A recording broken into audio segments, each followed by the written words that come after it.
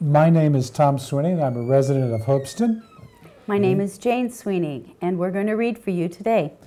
In the 1940s, the Child Association of America published stories to be read aloud. And today, we're going to read two holiday stories. The first is Catherine Woolley's The Puppy Who Wanted a Boy. Once upon a time, there was a mother who was a dog who asked her little puppy named Petey what he wanted for Christmas. the little puppy looked at his mother and said, I'd like a boy for Christmas. Yes, you can have a boy if you are a very good puppy. Oh, I'm a good puppy, Mommy. So the day before Christmas, his mother asked him, Have you been a good puppy today? Oh, yes, yes, I didn't frighten the cat. You didn't? Well, I frightened the cat just a little. And did you chew on any shoes? Oh, no, not today. You didn't? Not any slippers or shoes? Well, just a teeny weeny chew. And when you need to go outside? Well, I remember, well, practically always remember when I need to go outside to bark when I need to go out. All right. I guess you've been good, and you're awfully little. I should go out and get you a little boy for Christmas. The little puppy waited and waited and waited. The mother came back and looked at her puppy child. She was very worried. What did you get? Mm, how would you like a white rabbit for Christmas? He's a soft little bunny. No thanks. And look at this little bird cage. I bought you a lovely canary. No, no, no, I want a little boy. What about a guppy, a goldfish? No fish, I'd like a boy. I searched everywhere. There are no boys to be had. I couldn't find any. None? They are terribly short of boys.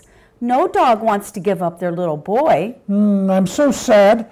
I can't stand it if I never have a little boy. Puppies need someone to play with. There must be a little boy somewhere. I know.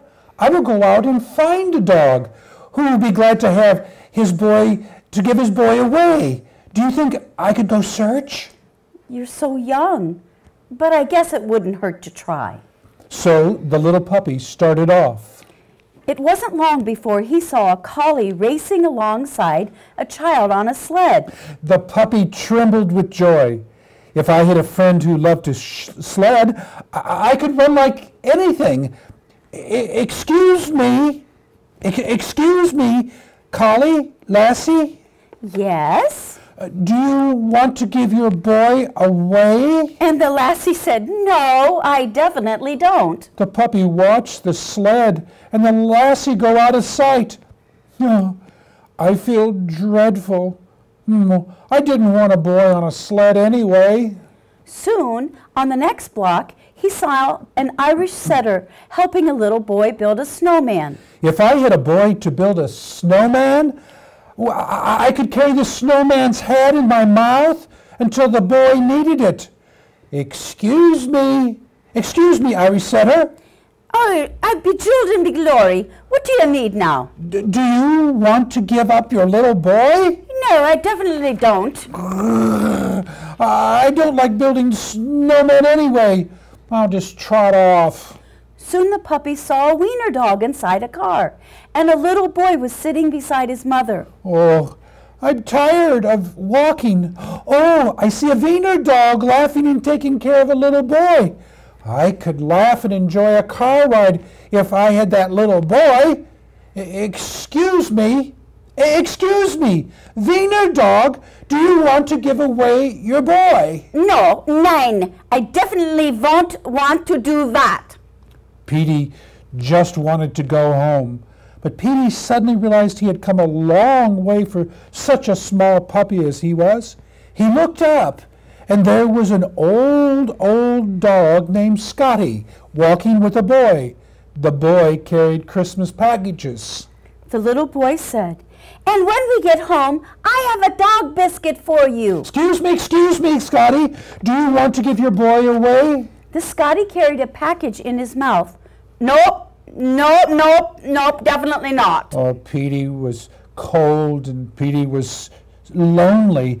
My goodness, where can I find a boy? And Petey went on and on and on in his search. He, he dodged cars. He looked in stores. He looked around corners. And he looked down lanes. Dogs chained to fences ran at him. Mean dogs yelped at him. Someone even threw a snowball at him.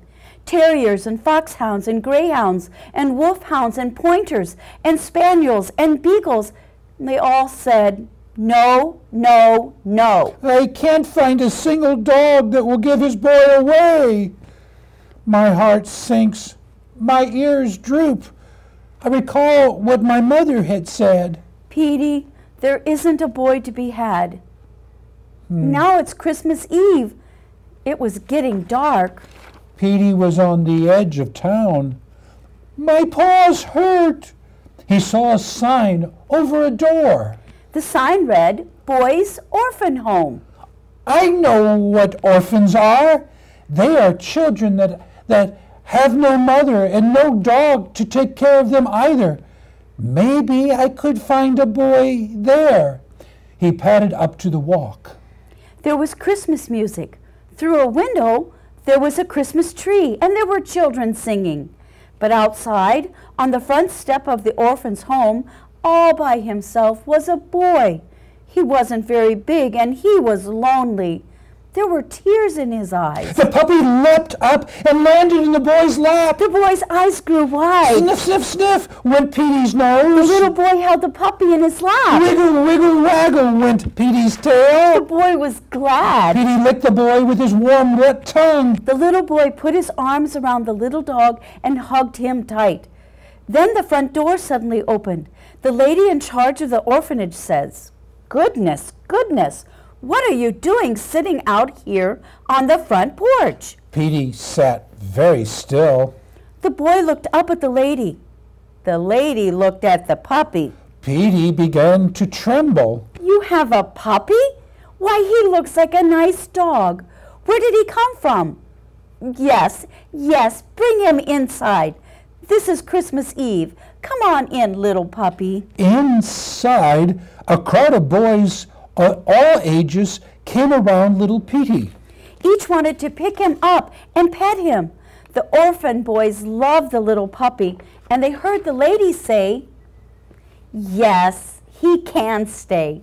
We will need to get him a wonderful supper, and we'll need to fix him a nice warm bed. Tomorrow and the day after, you can play with him.